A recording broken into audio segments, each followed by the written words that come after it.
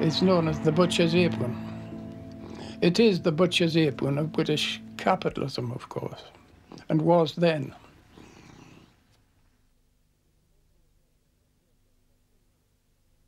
The colonial workers were workers like we were. They were subject to more intense exploitation. That was, if any difference, that was the difference.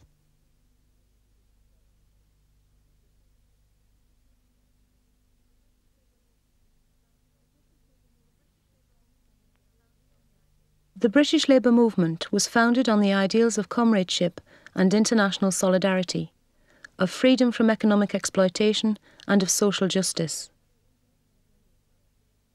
Yet it has been unable to free itself from jingoism. At times, it has acquiesced in policies of repression. Imperialist ideas have maintained their influence on the labour movement to this day. There is no question in the Falkland Islands of any colonial dependence or anything of the sort. We uphold the rights of our country throughout the world and the claim of our country to be a defender of people's freedom throughout the world, particularly those who've looked to us for special protection, as the people in the Falkland Islands do. So far, they have been betrayed, and the responsibility for the betrayal rests with the government. The government. The, the government. The government must now prove by deeds that they are not responsible and they cannot face that charge. They had a special debate down here one Saturday morning. And Foot uh, spoke for Britain, said the Tory press, better than Thatcher. What he agreed to do on that day was fateful. He agreed to send, uh, to send in ta the task force. I've no doubt that in his heart he'd got reservations about what it would do.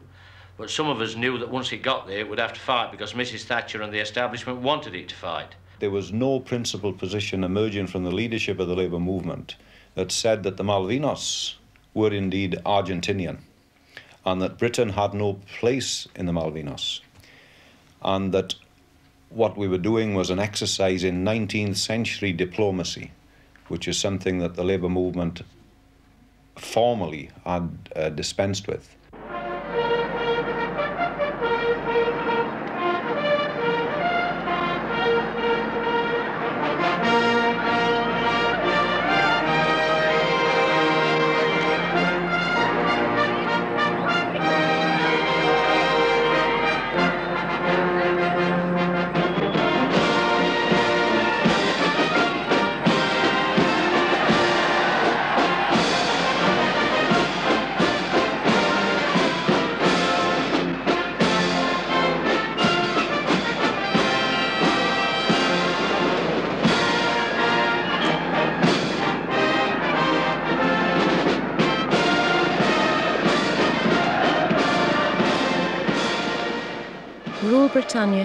Britannia, rules the waves. A song written during old imperial wars reverberates down the centuries.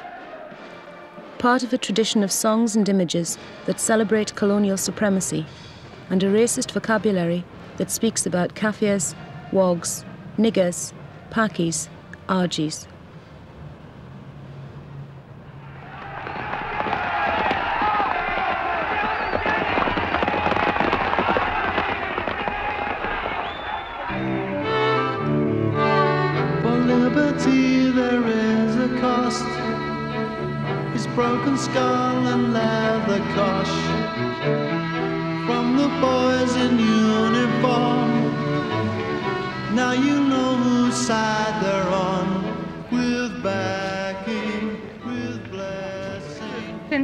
Fight, we're fighting for us, and it's our country. It's still ours. I mean, we're the majority of people. It is our country.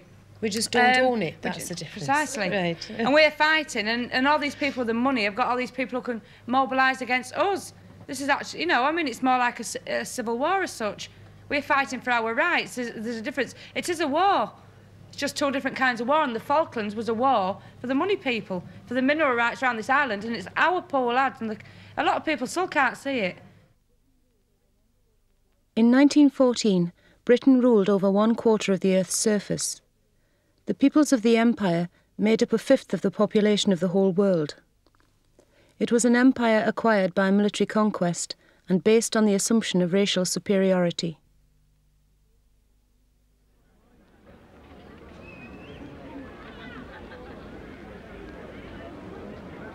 Each of our many peoples has its own life to live. Each has its own work to do. Yet all are members of one family, sharing their sorrows and joys. You have learned how the empire was built up by brave and wise men and women in the past. It is only by courage, wisdom, and unselfishness that it will endure. It is a great inheritance. The teachings of why we had the empire was one which uh, made your chest come out, made you feel as though you were, oh, what a, you know, proud and uh, honoured to think that we, a country, were able to occupy vast tracts of land and bring goodness and uh, hope to poor people. There was the great map of the world, and it was put up, and there were the red bits all over. And this is our empire, an empire in which the sun never sets, you see. It was much later that, one, I heard the stories of the terrible sufferings in India, the deprivation of the people, the lack of any rights, the lack of their own parliament. Role was more economic exploitation, political repression. And then through that economic exploitation to build their own country. For example, if you see Lancashire textile mills, they were mainly dependent on raw material, which British government actually got from India and from Egypt. At the turn of the century, it was clear that there had been a general rise in living standards in Britain. In the previous 50 years, wages had risen steadily. Consumption of basic foodstuffs, mostly cheap imports from the Empire, had increased in an extraordinary way. Thus, the consumption of tea doubled, of sugar trebled between 1860 and 1900. For the British upper class, the Empire meant uh, comparatively big profits.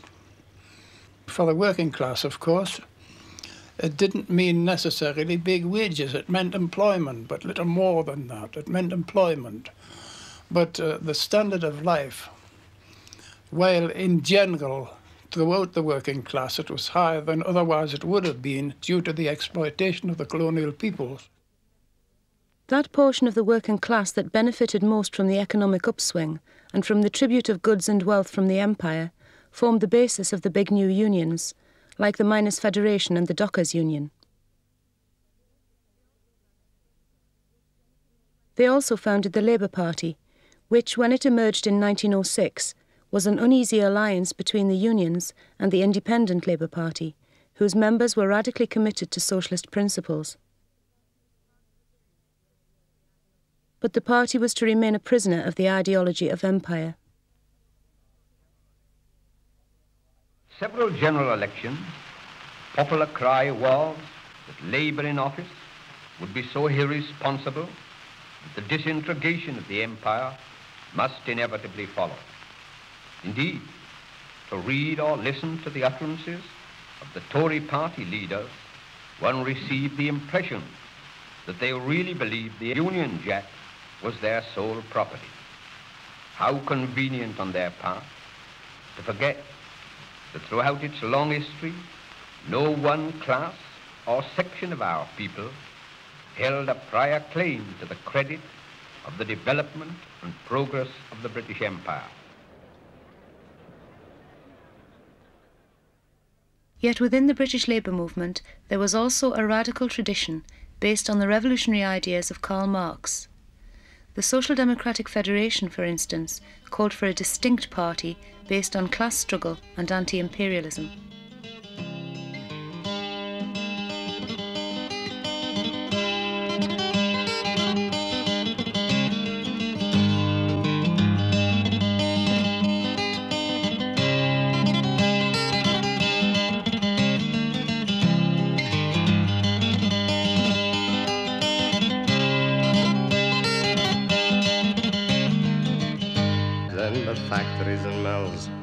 In the shipyards and mines, we've often been told to keep up with the times, but our skills are not needed. They've streamlined the job, and we're slide rule and stopwatch our blind day of die. But when the sky darkens and the prospect is war, who's given a gun and then pushed to the fore and expected to die for the land of our birth, though we've never owned one handful of earth. The rapid expansion of European capitalism led to a scramble for colonial markets and raw materials. Africa, the last great blank space on the map, had been divided up. German capitalism had come late to the carve up and was determined to get a place in the sun. The struggle for a redistribution of the colonies pointed to war between the two greatest powers, Britain and Germany. It came in 1914 and became a world war involving the major powers, including Russia and the United States. Crucial to the ability of the great powers to wage an imperialist war was the support of the working class organisations. In Germany, the Social Democrats were pledged to oppose war in line with the policy of the Second International, which was a loose federation of European socialist parties. But in 1914, the bulk of the socialist deputies voted to finance the war. In Britain, the Labour Party, with the exception of certain pacifist elements in the Independent Labour Party, was also solidly patriotic.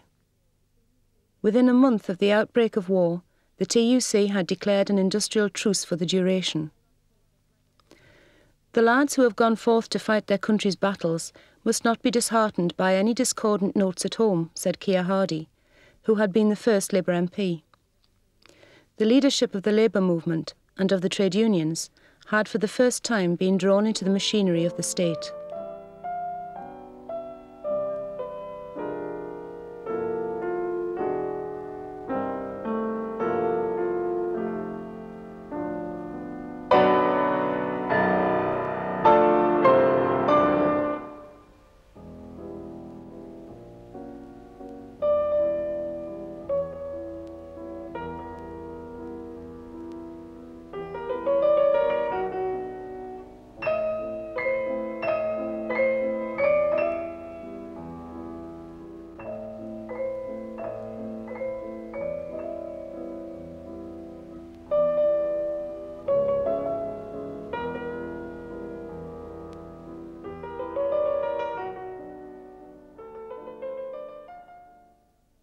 In a wave of patriotism and often hysterical jingoism, the British working class flocked to the colours.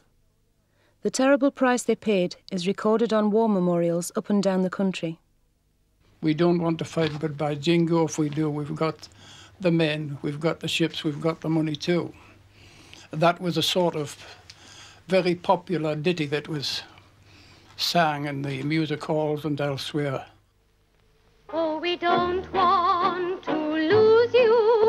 but we think you ought to go. For your king and your country both need you so.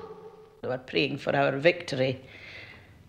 Personally, I found that very, very odd because I thought to myself, if they're praying to God and for their victory, and the Germans are praying for the victory to God, how is he going to discriminate?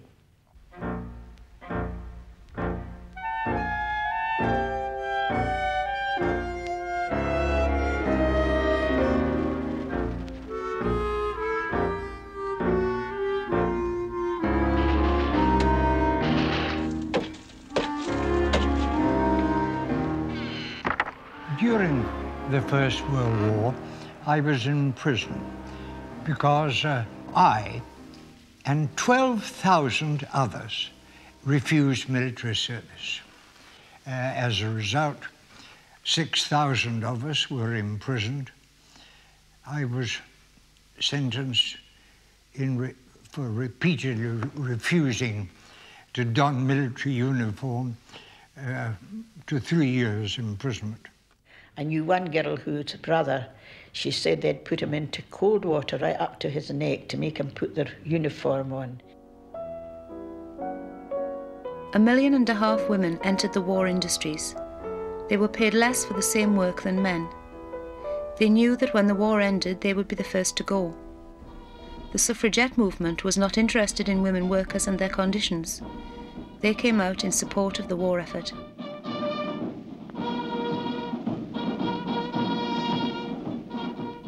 These women made a magnificent stand for one thing the fight for the vote for women.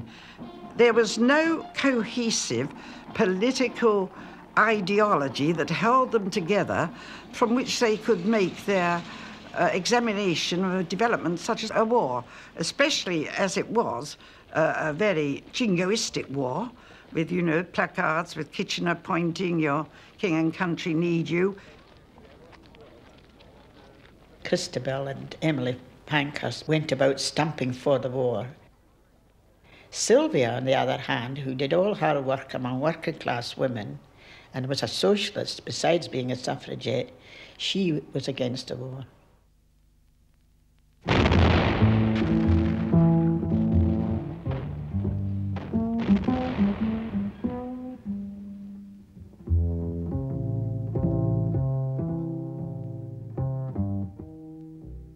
People knew that millions had been killed. We didn't know at the time the full statistics that 10 million had died on the different fronts. But of course, our own British casualties, published almost daily, were on a much bigger scale than in the Second World War. Britain lost just under a million dead. And of course, the number of people in hospital or coming out maimed, blind, crippled in various ways was there for everybody to see.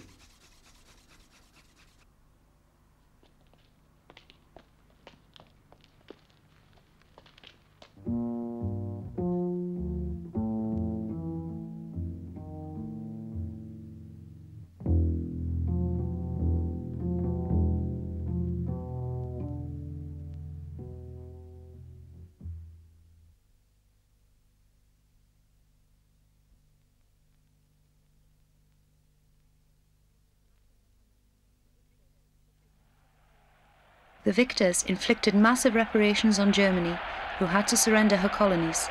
The bulk of them went to Britain. Other results of the war were less welcome to the ruling classes of the West. In 1917, the Russian monarchy had collapsed. In October of that year, the Bolsheviks led the first successful workers' revolution and set up the Soviet Republic. The Bolsheviks declared that the war was an imperialist war, that the workers were being sent into a bloodbath in the interests of their exploiters, that the leaders of the old international had betrayed the working class, and therefore that the Second International, which had existed since 1889, had collapsed, and that a new international, based on the principles of the class struggle of Marx and Engels, would be essential.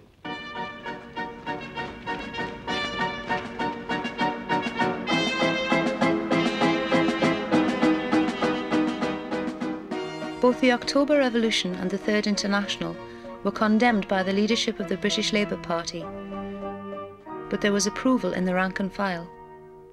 It was hailed by many people. We all thought it was wonderful. I personally uh, was so proud. I made myself a, a, a little hat for a friend of mine and myself, which was like a Cossack's hat, black from back fur fabric, and had a red tassel on it. And we really were proud of the fact that we were supporting her. And we collected food and we made shirts and all that sort of thing for the Russians. There was a tremendous upsurge amongst all my mates in the yard, and there were great discussions. But the one sort of feeling that came out of it was that the workers could take control and they could run a country.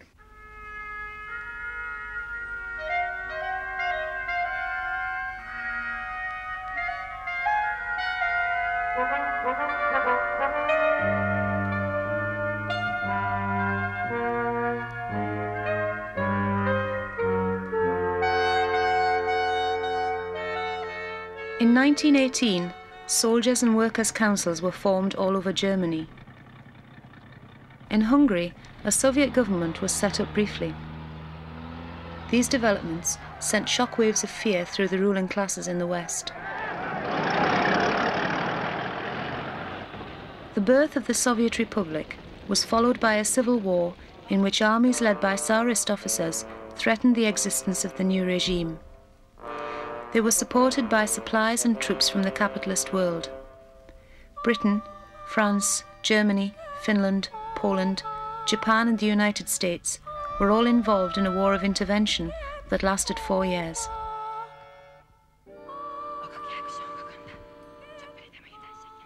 Churchill's attitude and the attitude of the British ruling class here was to crush the, the Russian Revolution.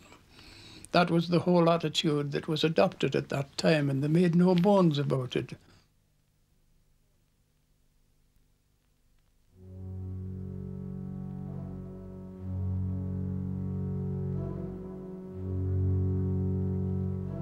Plans for massive intervention against the Bolsheviks came up against popular resistance in Britain. We had refused to go as volunteers the previous month and we were naturally furious at being told that we had no option. But we had to prepare to obey orders, and we were just meditating what to be done about it when on January the 5th, a whole echelon of soldiers down at Dover refused to go on board, and within three hours there were about 30,000 troops in Dover who were refusing to embark. They simply went on strike and they told their commanding officers that they, very respectfully, that they didn't intend to go to Russia. The War of Intervention had two aims. One was to nip the revolution in the bud before it could spread to the highly industrialized countries of the West. The other was to defend solid economic interests. Germany, France, and Britain all had substantial stakes in the capitalist economy of Tsarist Russia. Britain had investments in cotton, in oil, in timber, and in mining.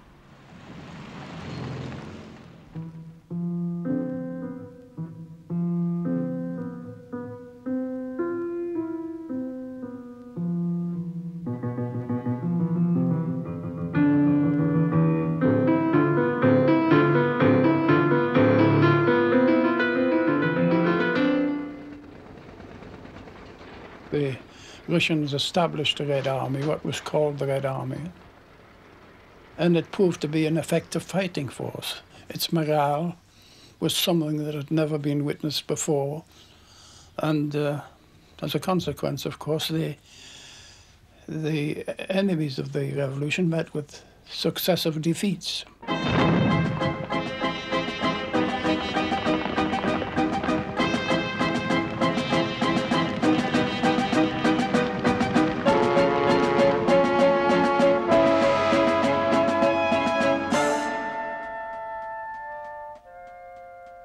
In Britain, there was widespread opposition by workers and soldiers to the War of Intervention.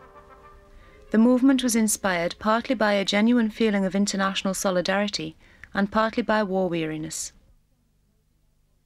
So strong was the movement that the TUC and the Labour Party were forced to support it. In August 1920, a TUC and Labour Party Council of Action threatened a general strike against the war dockers refused to load war materials. The Jolly George was being loaded with munitions to go to northern Russia. And if this could be stopped, it was felt it would be an inspiration to the workers throughout the country. It would be a success, and of course, success breeds success. And uh, the action of the workers on that ship by refusing to sail the Jolly George and the dockers was, uh, was an inspiration to the hands-off Russian movement.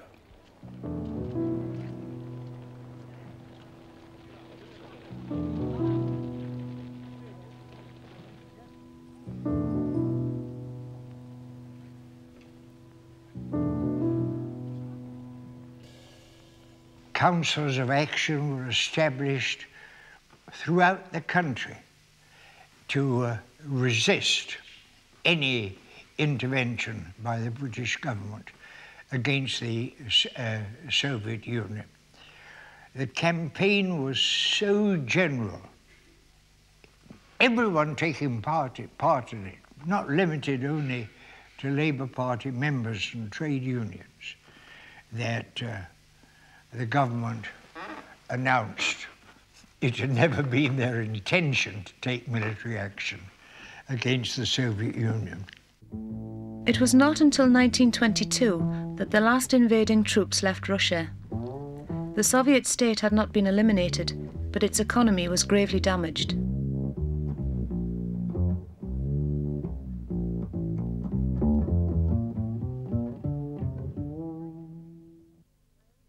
In 1918, Irish nationalists launched a guerrilla war that lasted two years and tied down 30,000 British troops. In the labour movement, there was general sympathy for Home Rule and revulsion at the atrocities carried out by British soldiers. But there was no hands off Ireland movement. Not once did British Labour hold up a single wagon of munitions or prevent the transport of a single soldier. For British Labour to confront its own imperialism was more difficult. The unionist link in the trade unions and anti Irish prejudice played their part. Ireland was, after all, Britain's oldest colony.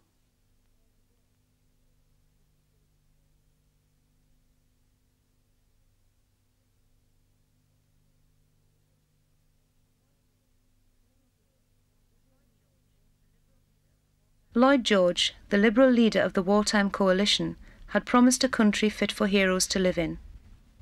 But as the soldiers returned from the war, unemployment rose to over 2 million. The working class was facing an assault on its living standards by the employers. The resulting resistance brought the country close to social revolution.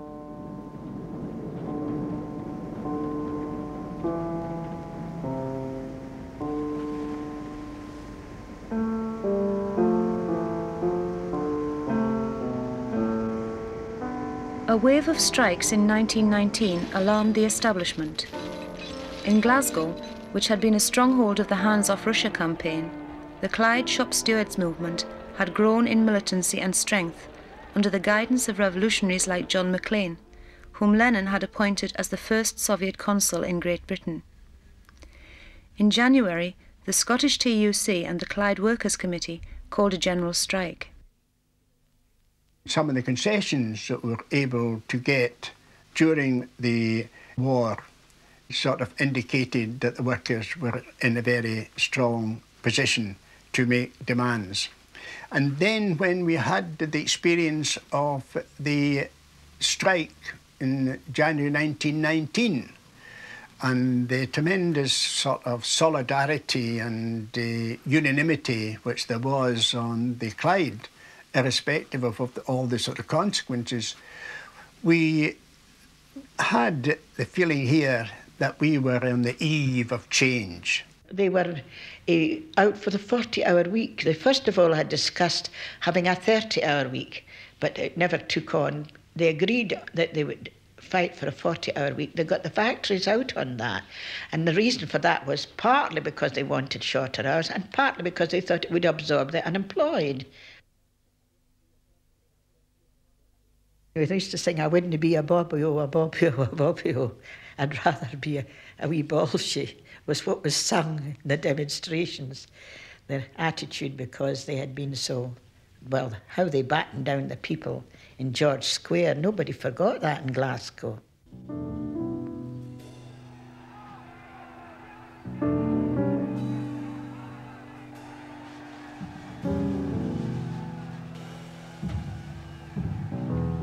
Smelling revolution in the air, the government sent troops to occupy Glasgow.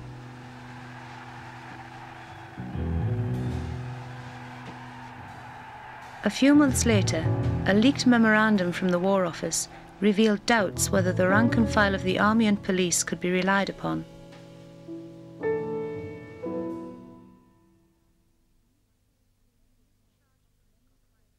In this charged political climate, Lenin's call for communist parties to be formed where none existed was met with enthusiasm. The Communist Party of Great Britain was formed in July 1920 on the basis of class struggle and support for the Russian Revolution. When it applied to affiliate to the Labour Party, the request was rejected on the grounds of insuperable differences. But the ruling class fears of an impending revolution were exaggerated. The mass of the British working class were not even members of trade unions at that time. As a result of the war, trade union membership had gone up from four and a half million to about just under six million. The circulation of the socialist papers, the socialist weeklies, the Call, the Socialist, had gone up, but of, and they were printing the truth about Russia, but that was a drop in the ocean. The greatest concentration of trade union power lay in the triple alliance of the miners, the transport workers, and the railwaymen, two million workers in all.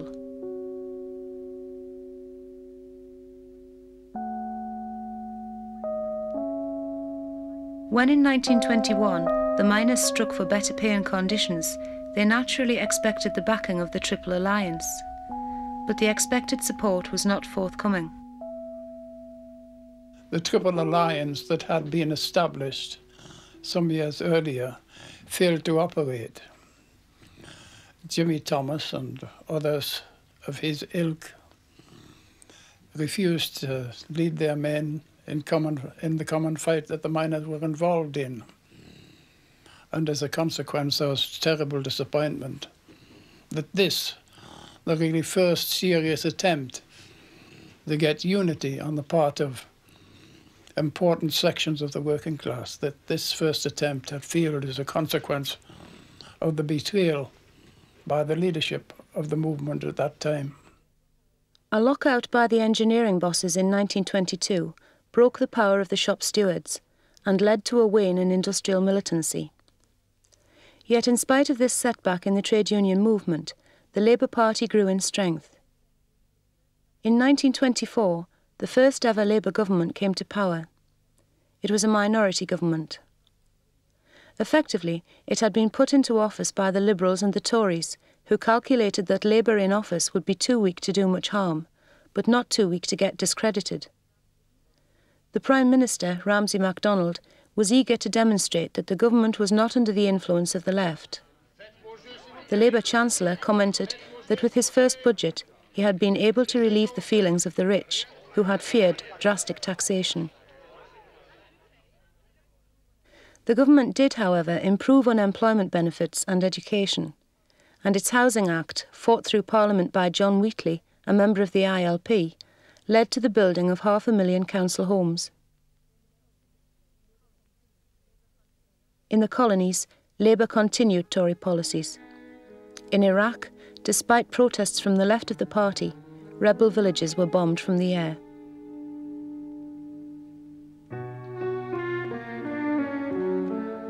The immediate cause of the fall of the Labour government was the case it brought against John Campbell, editor of the Workers' Weekly, the official organ of the Communist Party, which urged soldiers not to turn their guns on fellow workers a response to the Labour government's threat to use emergency powers in a London transport strike.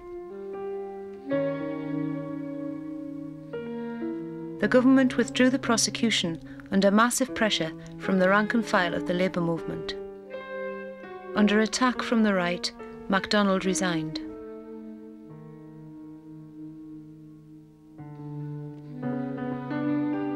Four days before the poll, the Daily Mail published the Zinoviev letter this forgery was alleged to be a message from the head of the Communist International, Zinoviev, containing advice to the Communist Party of Great Britain on subversive activity especially in the armed forces. Everybody who connected with it, who was supposed to have received it or was supposed to have had anything to do with it, declared it and denounced it as a forgery at the time. But then, as now, the national press had a field day with it for a couple of weeks, and this undoubtedly affected the result of the election because the Labour government was defeated.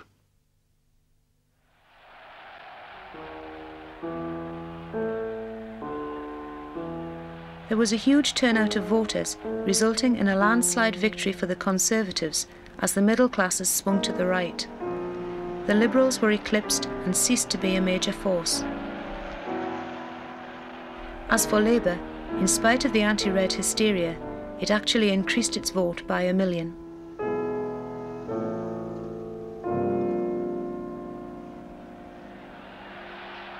The increased Labour vote reflected the continuing strength of the working class movement and the left. It was in this same year, 1924, that the rank and file movements in the mining, engineering, and railway unions came together to form the minority movement. It aimed to expose the role of the capitalist state as well as to fight the employer's offensive on wages and conditions. Communists were central to its organisation, although the Communist Party itself was small. In 1926, on the eve of the general strike, the minority movement could claim to represent a quarter of the total trade union membership. The minority movement was not then talking about them leading something as an independent movement apart from the trade union movement. They were talking about winning the whole of the trade union movement and up to the TUC to be leading these militant things, a fight back. By the mid 1920s, the decline of Britain as an industrial power was evident, particularly in the mining industry. The coal owners were determined to make the miners finance the drive for markets by working longer for less pay. The miners' response was the defiant slogan Not a penny off the pay, not a minute on the day. For their part, the Baldwin government and the owners were determined to take on the miners. In preparation for 1926, they divided the country into a number of regions. A government minister was responsible for each region. They also train scab train drivers at private sidings of big companies, and they set the machinery in motion. In October 1925, 12 leading communists were arrested and charged with sedition and incitement to mutiny. Five got one year's jail, and seven got six months.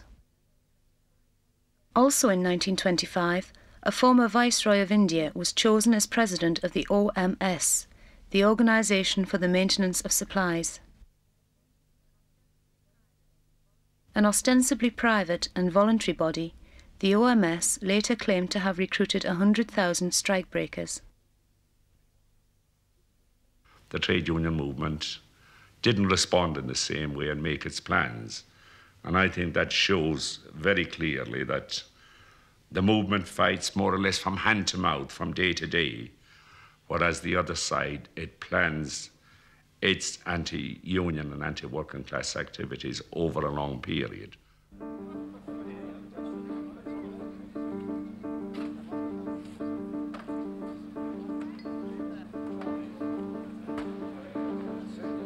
The TUC was formally committed to support the miners by bringing out the whole of the movement, but up to the last moment it frantically tried to avoid a confrontation. A number of our people thought, well, it'll be avoided, there'll be some way of avoiding it, which is a tremendous thing to have a strike of this dimensions.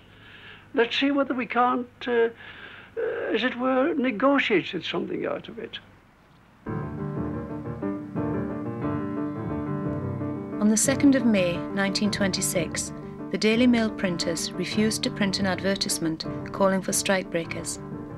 The Cabinet used their action as an excuse to force a confrontation. Troops had already been moved to South Wales, Lancashire, and Scotland.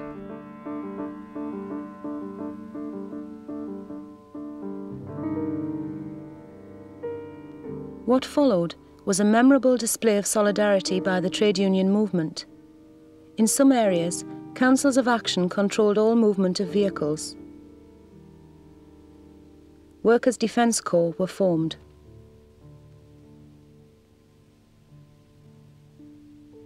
It was a remarkable period, those nine days, in my experience. I slept where I was.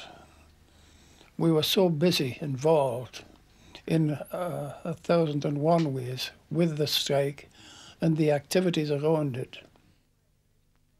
Under the very wide emergency regulations now in force, large numbers of arrests were made on the flimsiest of pretexts and terms of imprisonment handed down by unsympathetic magistrates.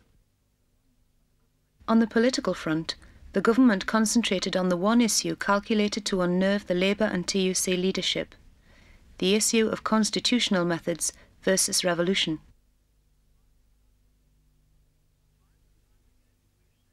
Time and time again, we said this is an industrial dispute. The government were trying to make it into a political dispute. Well, how could it be a threat to the Constitution?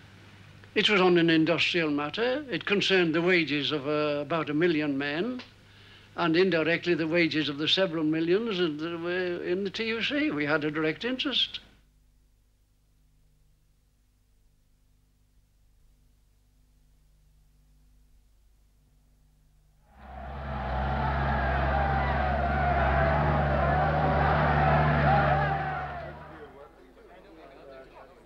Desperately seeking a way out of a situation which they found embarrassing and dangerous because it was potentially explosive, the TUC negotiated a new formula which still implied wage cuts.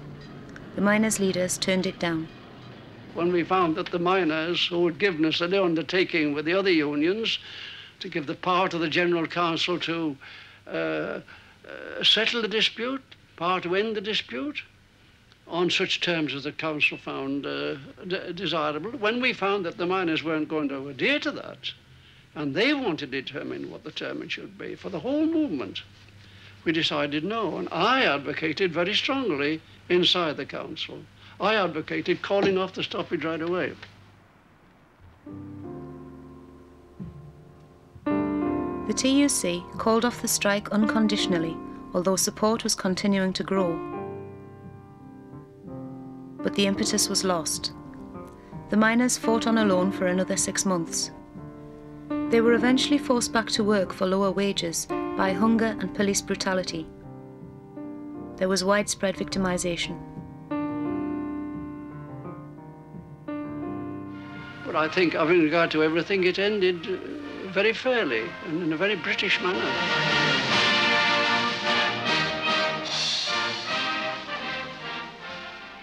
I have never said it was a defeat. It marked a turning point in British industrial history, and I was proud to be associated with it. One result of the strike was the strengthening of the right wing union leaders. They had made it clear to the Tories that they were anxious above all to act within the Constitution and had shown their ability to curb class conflict. The failure of the strike revealed the weakness of the Communist Party, which had been unable to exert any real influence on the outcome. Probably their members were the most active people within within the uh, the movement itself. But of course, the experience of the party was very limited. It's only what five, six years since it was formed, and all the theory of uh, that had been developed within the labour movement and the reformist attitude, etc., were very strong. The way was open for further talks with the government and employers, aimed at industrial peace and trade union collaboration. The Communist position was further weakened by the new line imposed on it by the Communist International. The adoption of the new line policy which treated the Labour Party as a social fascist party, the, uh, which treated the trade unions as being part of the structure of the capitalist state, seemed to me, and I'm all the more convinced of it now, as a complete misjudgment of the international situation and the situation in Britain. The new line inevitably destroyed the minority movement, which was based on the Union membership. The Communist Party dwindled to 3,000 members.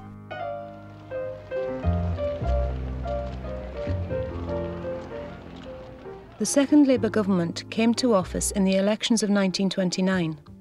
It had no overall majority. It was soon faced by a major slump, brought on by the worldwide capitalist crisis.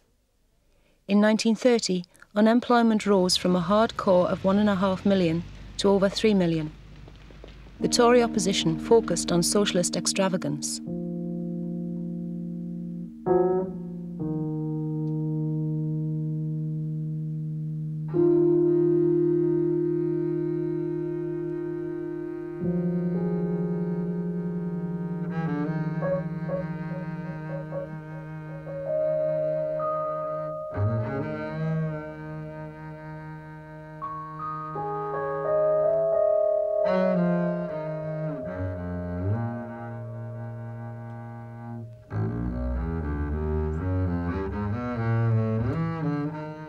The cabinet was split between those who believed in a policy of public works and tariffs and those, like MacDonald, who believed that capitalism had to be made to work according to the rules of the international banking community.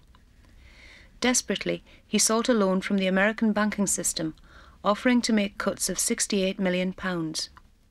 The Americans agreed, provided the proposed cuts had the approval of the Bank of England and the City. At this, the cabinet fell apart destroyed by a banker's order. Under pressure from the King, in August 1931, MacDonald agreed to serve along with the Tories and Liberals as head of a so-called national government. His Labour past was seen as an asset which would make it easier to impose the cuts. On the day when he committed this act of treachery, he said, Tomorrow every duchess in London will want to kiss me.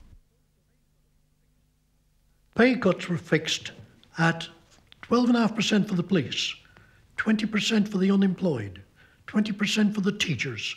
But for junior ratings of the Royal Navy, that meant all ratings other than chief and petty officers.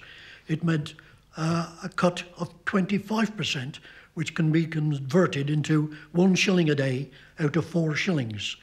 And they rose against it. They wasn't going to wear it.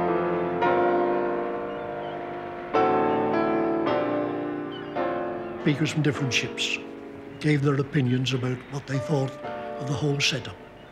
And it was at that meeting that it was decided that mutiny, but they didn't call it mutiny, they called it a strike.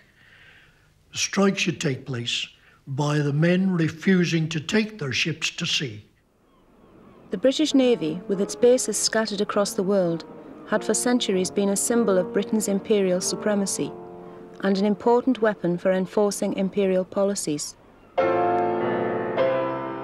Britannia had indeed ruled the waves. The Invergordon mutiny caused a panic in the international banking community, which withdrew vast amounts of capital from Britain, thus forcing Britain off the gold standard.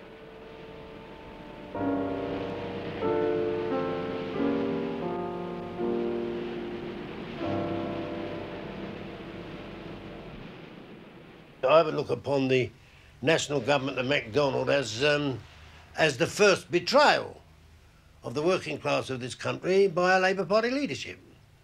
The first one. The national government was the logical outcome of the consistent way in which right wing Labour leaders had espoused the so called national interest, shored up the empire, and proclaimed themselves above class. At home, they had been eager to demonstrate their ability to continue Tory policies, to manage capitalism better than the capitalists, and abroad had pursued policies of colonial repression. In India, for instance, 60,000 passive resisters were jailed in one year under Labour. Late in the day, the Labour Party expelled MacDonald along with Thomas, who had become a buffoon and laughingstock of the upper classes. Their behaviour left a legacy of anger and disgust in the labour movement. It reflected a failure of those on the left to win over the whole of the labour movement to socialist policies, and break the hold on the working class of imperialist ideas. After all, a ruling class doesn't want to fight on two fronts. It doesn't want to fight its own working class at home when it needs their support for pursuing policies of oppression and exploitation abroad. And therefore, the British working class has been moulded in a certain set of historical circumstances. And it takes a long time to begin to overcome that, that they begin to identify. First, they've got to know who their own enemy is. For masses of workers, that is not the case. Otherwise, why would the Tories get 13 million votes in an election? And the people that vote for the Tories are not all bankers or industrialists or capitalists or property owners.